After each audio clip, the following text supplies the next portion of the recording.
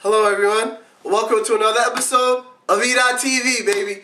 And in this episode, I'd like to discuss the, the, first two tournaments of the 2010 Men's Championship Tournament that took place over the weekend. Now, let's get right into it with the winners. We have Syracuse that's going to take on Butler. Xavier will be facing number two seed Kansas State. The Dukies of Duke will taking on Purdue. And the Bulldogs of Baylor will face St. Mary's. Northern Iowa will face Michigan State.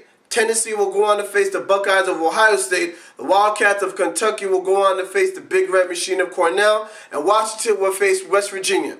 Now, out of the games that took place in the first two rounds, our upset watch of the weekend had to be Northern Iowa defeating number one, that's right, I said it, Northern number nine seed, Northern Iowa defeating number one seed overall in the tournament, number one seed Kansas. How did this happen? I mean, all I can say is heart, determination, the eye of the tiger, and you just got to keep shooting the three. Because, I mean, these guys, I guess they walked in thinking, we're not the number nine seed, and we're not facing the number one seed in Kansas.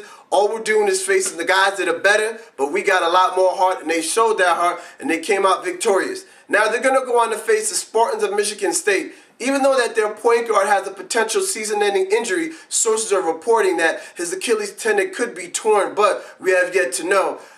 Coach Izzo of the Michigan State Spartans, I'm sure is going to have that team well prepared. And knowing that he's a former national championship coach, he's going to have that team prepared and amped up, ready to play in this game. Personally, myself, I think that the best game that's going to take place this weekend is going to come between two games.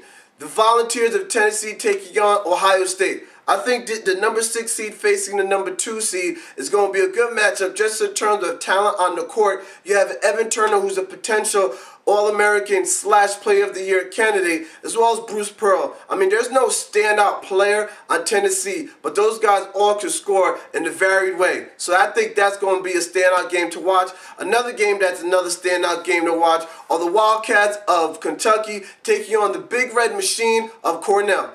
Uh, the reason why I say this is because Randy Wittman is knocking down threes like there's no tomorrow. But it shouldn't be a shock to him. He's averaging over 40% throughout the season. And the biggest matchup in this game, in my opinion, will be the centers. They'll be they'll definitely be the center of attention.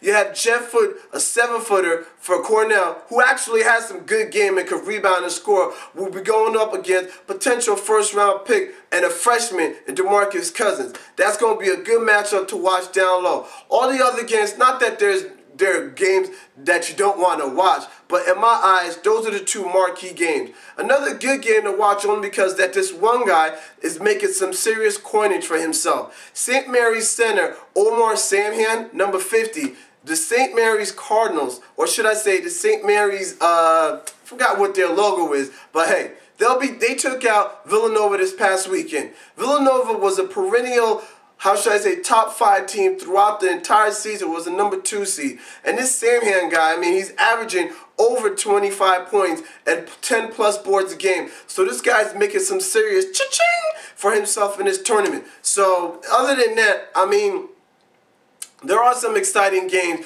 but in my opinion, those are the three games that you really want to watch. And all the other games, they're good, but you just might want to watch those because that might be the most exciting. Those will be the most exciting games taking place. Now, I don't have any other news for you, but when it breaks, I'll be the first to let you know. Thank you for watching this episode of E.TV. Peace.